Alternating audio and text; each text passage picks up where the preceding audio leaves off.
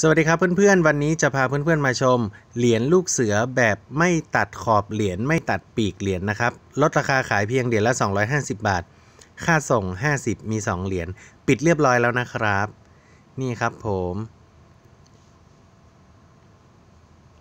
กดหยุดดูภาพเองนานเท่าไหร่ก็ได้ YouTube จะได้ไม่ยาวเกินนะครับ กดหยุดดูภาพเองเลยแคปภาพไปเลยครับ เพื่อนๆจะได้เอาไปขยายดูเองในมือถือทีหลังได้แบบนี้นะครับ เห็นไหมครับ อ่า หรือเพื่อนๆจะแคปภาพส่งเข้าไลน์ร้านกล้องถ่ายรูปให้เขาปิ้นลงกระดาษอาร์ตมันสวยๆ จะได้เอาไปนั่งดูในห้างสรรพสินค้าเย็นๆ จิบกาแฟชิวๆก็ได้นะครับ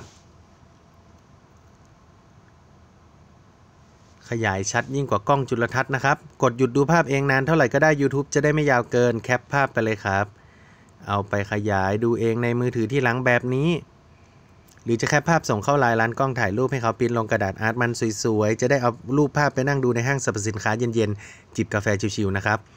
เพื่อนๆ คนไหนนะครับ ที่ดูคลิป YouTube นี้อยู่ใต้คลิป YouTube จะมีช่อง YouTube รับซื้อเหรียญขายเหรียญกดไปที่ช่อง YouTube จะมีหน้าหลักวิดีโอแล้วก็ playlist ให้เลือกกดที่วิดีโอได้เลย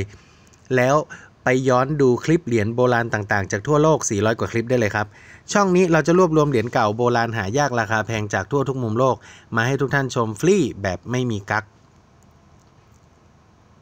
และเพื่อนๆคนไหนที่กดติดตามและกดกระดิ่งแจ้งเตือนคลิปหน้า ผมจะนำเหรียญที่เก่ากว่าเดิมโบราณกว่าเดิมหายากกว่าเดิม แล้วก็ราคาแพงกว่าเดิมมาให้เพื่อนๆได้ชมกัน